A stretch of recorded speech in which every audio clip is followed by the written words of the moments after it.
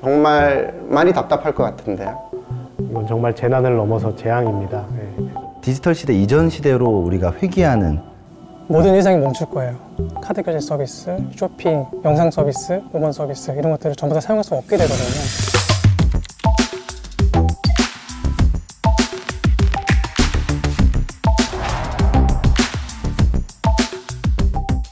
우리가 일상생활에서 주고받는 대화 메신저라든지 그리고 업무 메일들, 계약 문서들 그리고 공공의 그런 재무 회계 데이터들 이게 하루아침에 데이터가 없다고 한번 상상을 해보십시오.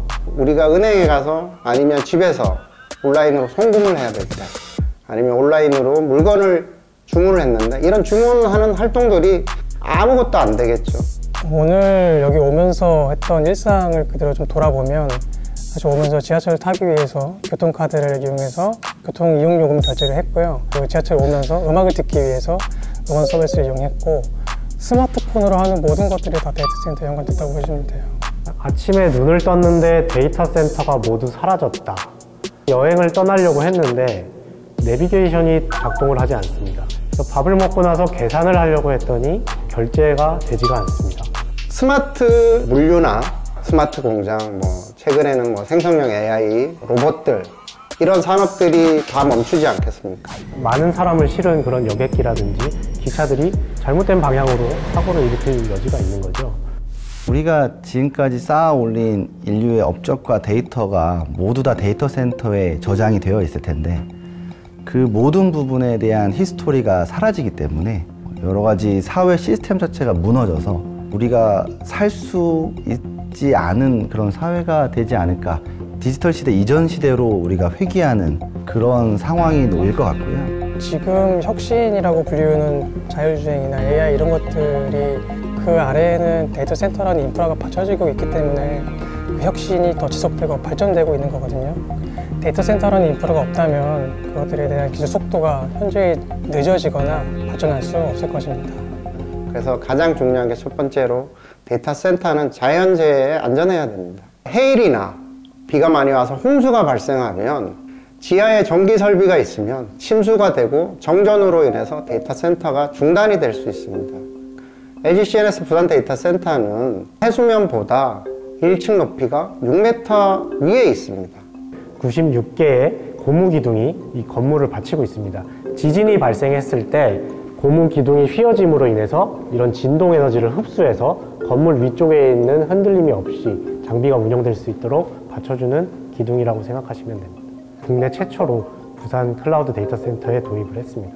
데이터 센터는 공항과 같은 보안 시설입니다. 차량이 갑자기 돌진해서 데이터 센터에 위해를 가할 수 없도록 roadblock이 있고요. 그러나 데이터 센터는 외벽에 창문이 없습니다. 데이터 센터 위치 정보도 사실은 대외비에 속하기 때문에 저희 같은 경우에는 어, CNS 간판도 건물에 안 붙어 있거든요. 저도 여기 부산 센터에 처음 왔을 때 어, 어디로 가야 될지 모르고 다 똑같이 생겼기 때문에 여기가 2층인지 3층인지 것도 알 수 없고 이정표가 없기 때문에 길을 한참 헤맸던 기억이 있어요. 그래서 적응하는 데는 한 3개월 정도 필요했던 것 같습니다. 그 다음에 중요한 것이 전기 공급입니다. 데이터 센터는 전기가 끊김이 있으면 안 됩니다. 날씨가 안 좋을 때 집에 있으시면 번개가 치면 형광등이 잠깐 깜빡거립니다. 그러면 어떤 전기 계통에 문제가 생긴 거겠죠. 근데 데이터 센터는 재난이나 이런 이상 상황이 생겼을 때도 즉각적으로 자동적으로 백업 선로로 구축될 수 있는, 변경될 수 있는 이런 체계를 갖추는 게 이제 데이터 센터의 설계 컨셉이고요. 그런 끊김이 생기지 않도록 데이터 센터는 중요한 핵심 설비, 심장 같은 설비가 있습니다. 그게 무정전 전원 장치라고 하고요. 1초나 짧은 순간에도 바로 전기를 공급해서 끊김없이 데이터 센터를 운영하게 되거든요. 실제로 한전에서 공급하고 있는 전기를 정전을 시키는 정전 테스트 훈련을 하는데요.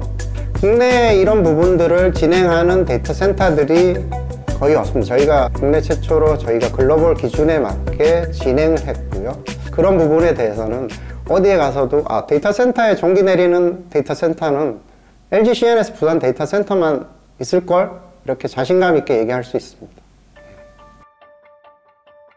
사실 데이터 센터가 일반 가정집에 비해서 많은 전기를 소모하는 것은 사실입니다.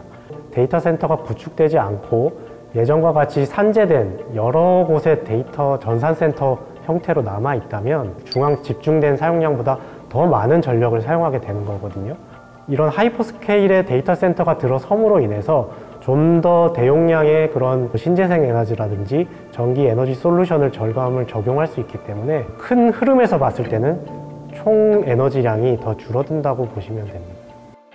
데이터 센터 안에서는 그 IT 자원 서버에서 발생하는 열들이 많이 발생합니다. 냉방을 해서 이 열들을 식혀줘야 되는데요.